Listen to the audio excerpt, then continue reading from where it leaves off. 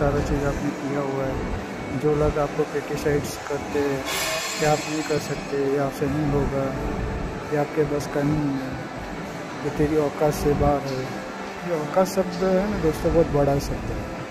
अगर आपको कोई औकात दिला, बोले कि तेरी औकात नहीं ये चीज़ करने की, या ये चीज़ लेने की तो आप क्या करते वो चीज़ उसको लेके दिखा दो कि देख, मेरी औकात कितनी है। तो बस ऐसे ही अमुक वर्ड्स दोस्तों पकड़ लेने के जो आपको दिल को झंझोड़ के रख देते हैं।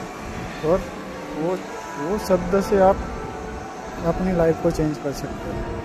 दिल पे लेनी है बात और उसको कंप्लीट करना है। तो आप सोचते रहते हो, मुझे ये करना है, पर वो होता नहीं है। बट इस तरीके से वो चीज़ आप कर पाओगे।